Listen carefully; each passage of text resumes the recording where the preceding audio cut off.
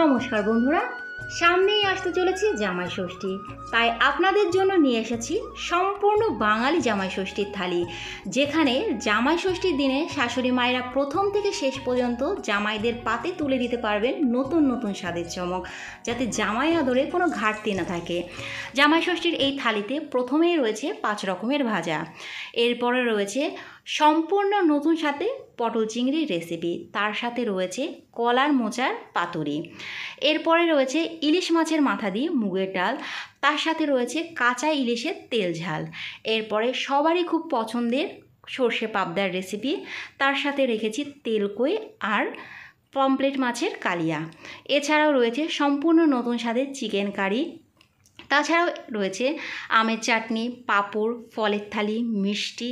এর সঙ্গে আরও রাখা হয়েছে গন্ধরাজ লস্যি, আমের শরবত ও কোল্ড ড্রিঙ্কস।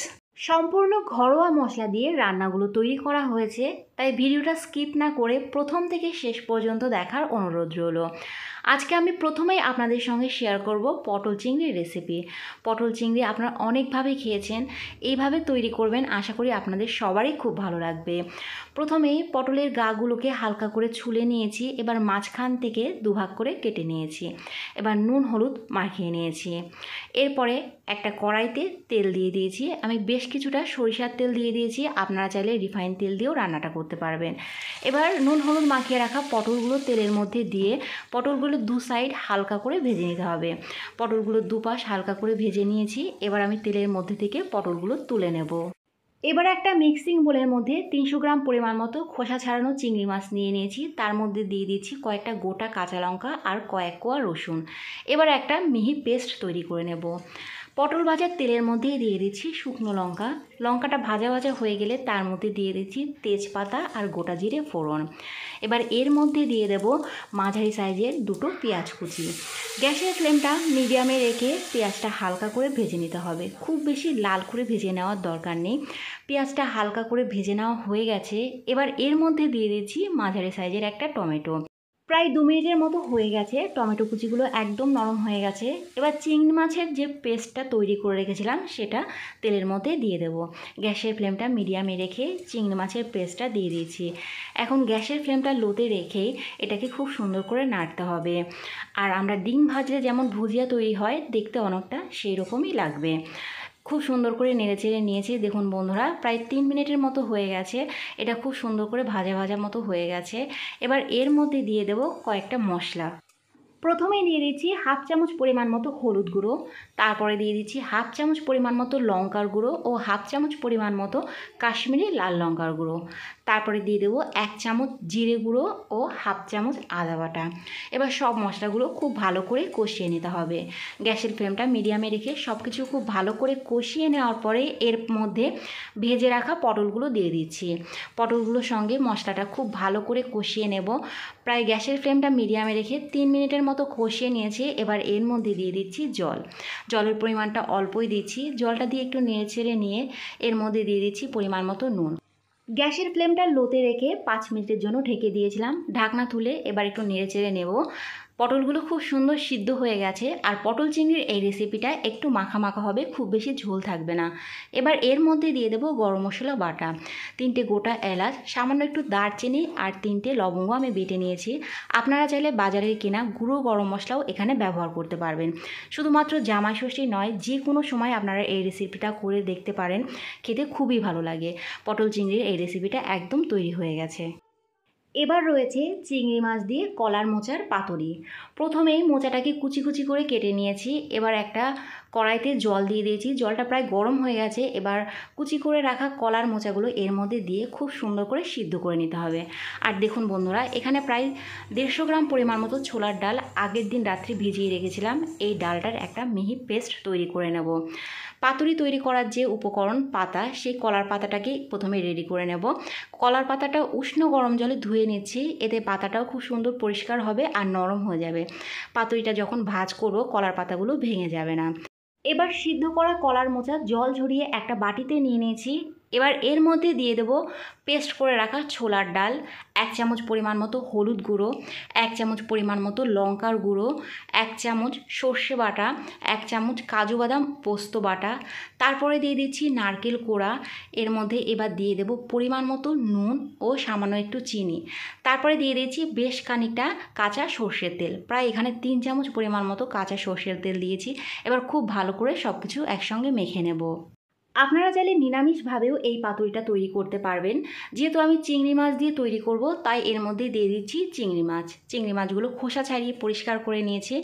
এবার চিংড়ি মাছ দিয়ে আবারও একটু ভালো করে মেখে নেব। এবার একটা কলার পাতার উপরে প্রথমে এক পিস চিংড়ি মাছ দিয়ে দিচ্ছি। তারপরে এর মধ্যে দিয়ে দিচ্ছি কলার মোচার মিশ্রণটা। এবার চামচ দিয়ে খুব ভালো করে এটা ছড়িয়ে দিচ্ছি। তারপরে এর ওপরে দেব একটা কাঁচা লঙ্কা আর এক চামচ পরিমাণ মতো কাঁচা সর্ষের তেল। এবার কলার পাতাটা ভাজ করে সুন্দর করে পাতুরি শেপে আমি এটাকে মুড়ে নেব আর একটা সুতো দিয়ে বেঁধে নেব।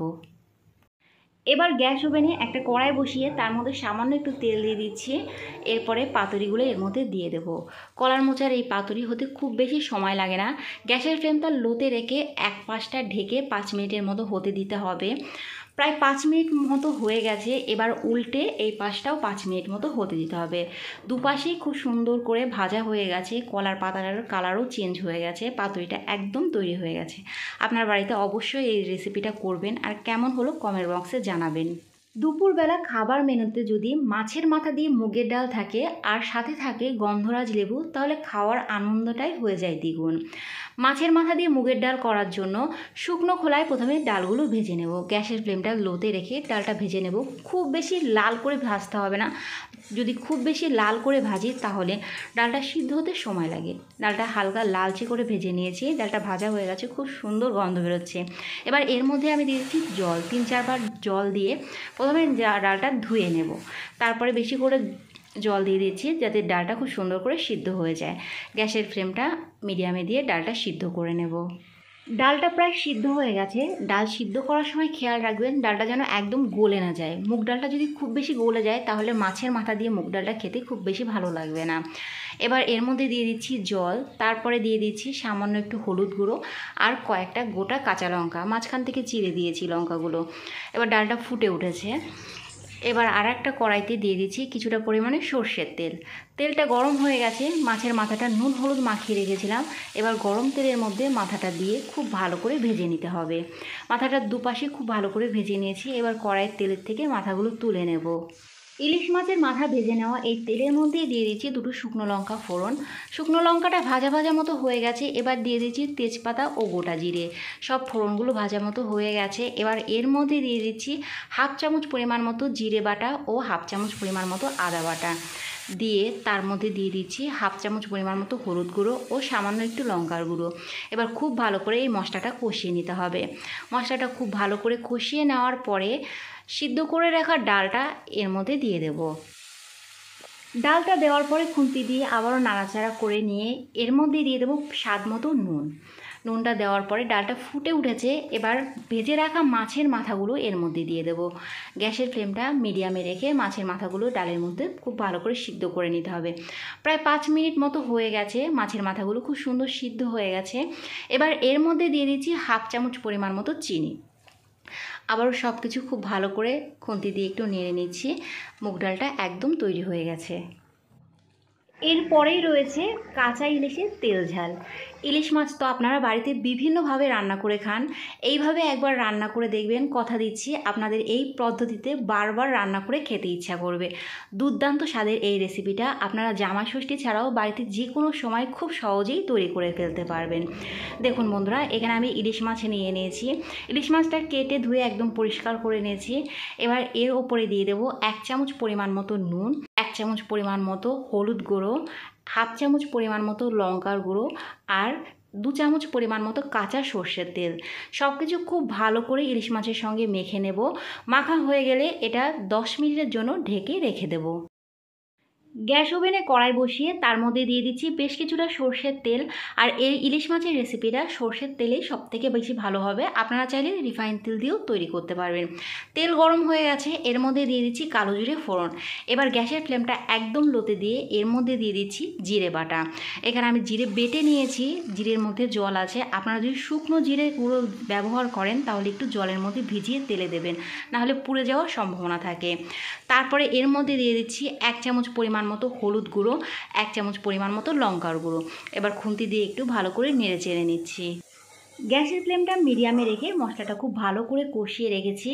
এবার ম্যারিনেট করে রাখা ইলিশ মাছগুলো মশলার মধ্যে দিয়ে দেবো। গ্যাসের ফ্লেমটা মিডিয়ামে রেখে ইলিশ মাছটা মশলার সঙ্গে একটু কষিয়ে নিতে হবে। ইলিশ মাছটা খুবই নরম, খুব সাবধানে দুপাশটা উল্টে পাল্টে একটু কষিয়ে নিতে হবে। এক এক পাশ প্রায় দু মিনিটের মতো মশলার সঙ্গে রেখেছিলাম, খুব ভালো করে উল্টে দিয়েছি। মাছের পিসগুলো মশলার সাথে খুব ভালো করে কষিয়ে নেওয়া হয়ে গেছে। এবার এর মধ্যে দিয়ে দেবো এক চামচ পরিমাণ মতো কালো সর্ষে বাটা। তারপরে দিয়ে দিয়েছি গোটা কাঁচা লঙ্কা। এবার এক মিনিটের মতো গ্যাসের ফ্লেমটা মিডিয়ামে রেখে সব কিছু ভালো করে নাড়াচাড়া করে নিয়ে দিয়ে দেবো পরিমাণ মতো জল ও স্বাদ মতো নুন।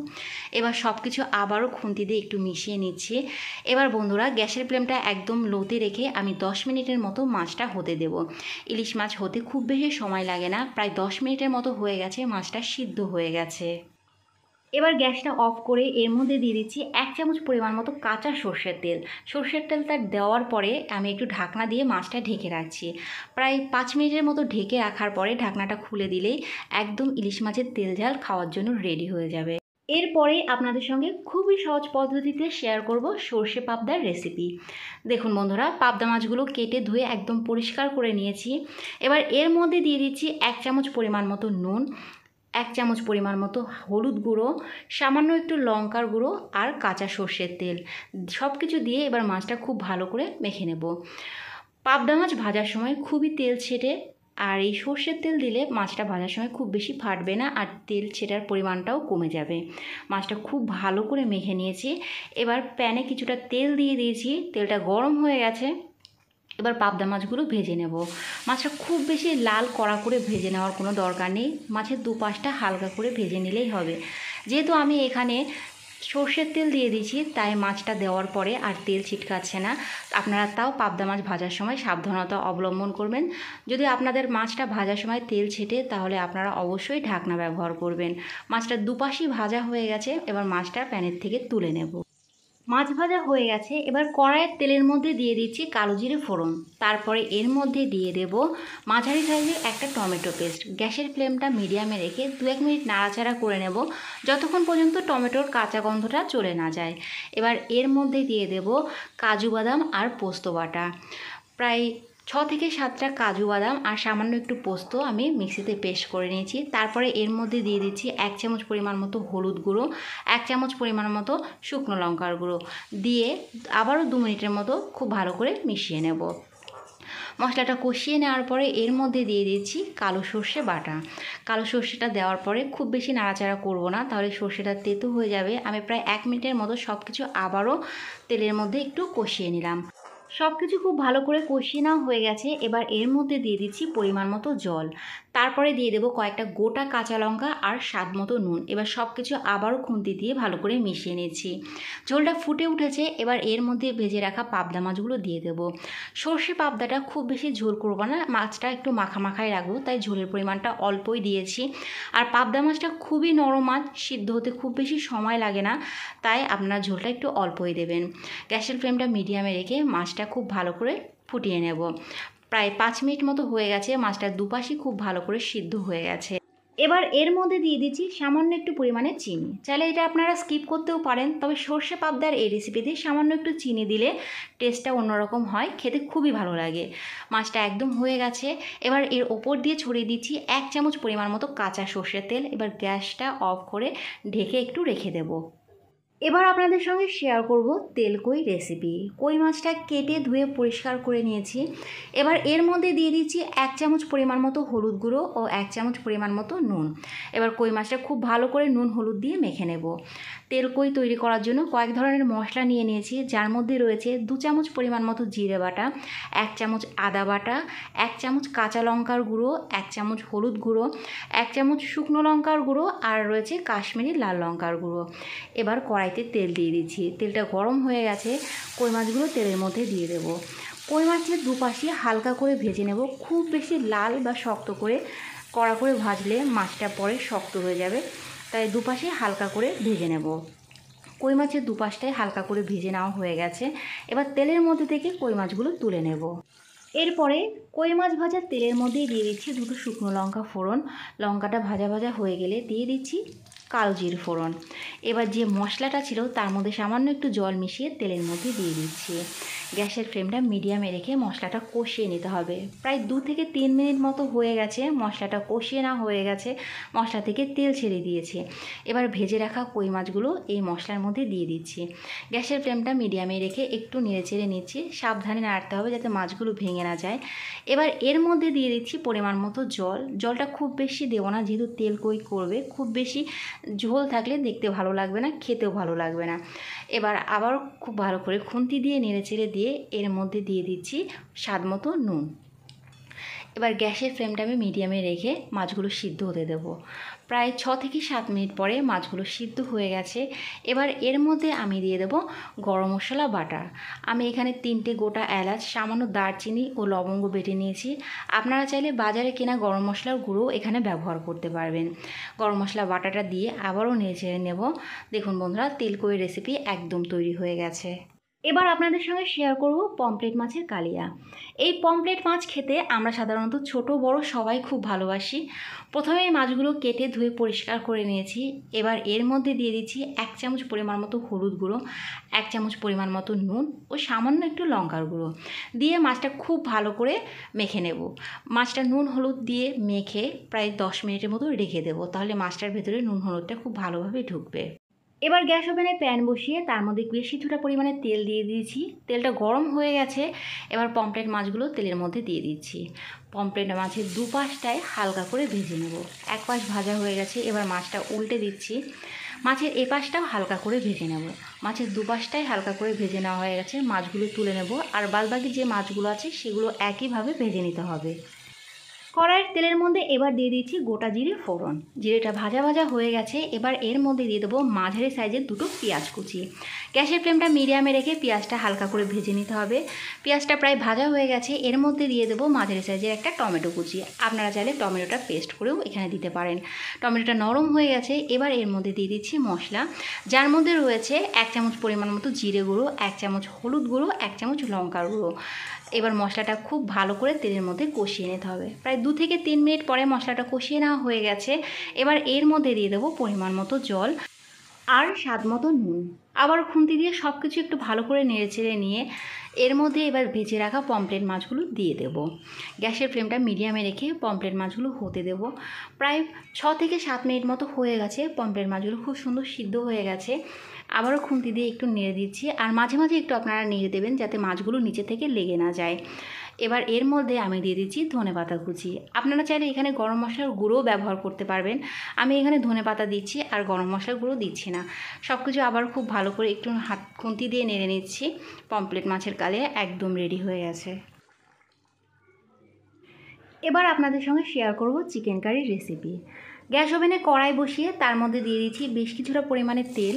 তেলটা গরম হয়ে গেছে, এবার ডুমো ডুমো করে কেটে রাখা আলুগুলো তেলের মধ্যে দিয়ে দিচ্ছি। সামান্য একটু নুন আর হলুদ দিয়ে আলুগুলো লাল করে ভেজে নিতে হবে।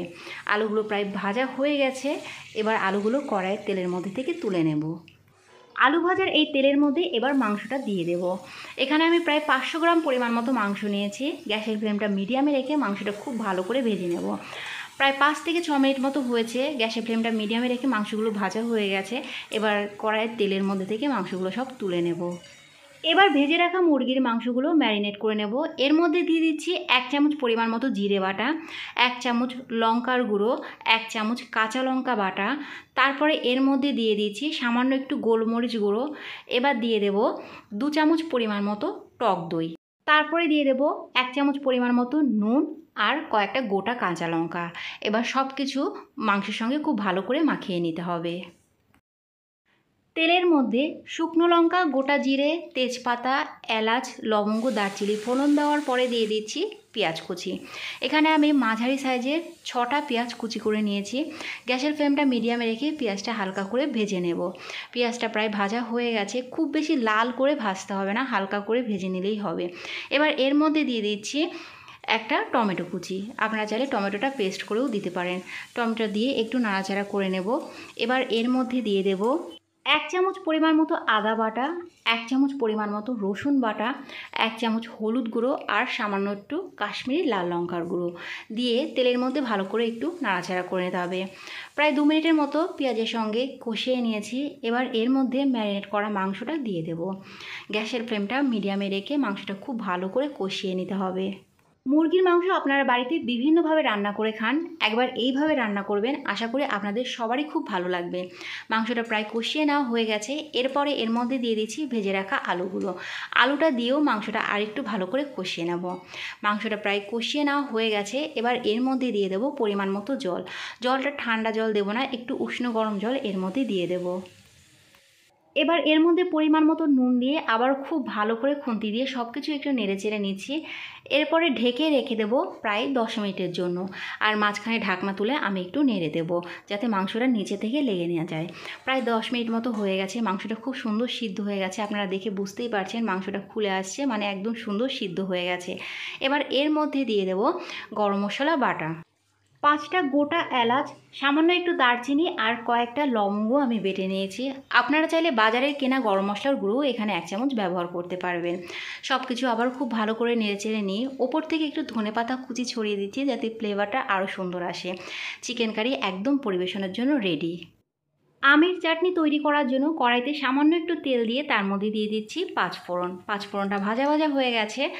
কেটে রাখা কাঁচা আমের টুকরোগুলো এর মধ্যে এবার দিয়ে দেব। গ্যাসের ফ্লেমটা একদম লোতে রেখে প্রথমে খুন্তি দিয়ে একটু নেড়ে ছেড়ে নিয়ে এবার এর মধ্যে দিয়ে দেবো এক চামচ পরিমাণ মতো নুন আর সামান্য একটু পরিমাণ মতো হলুদ গুঁড়ো।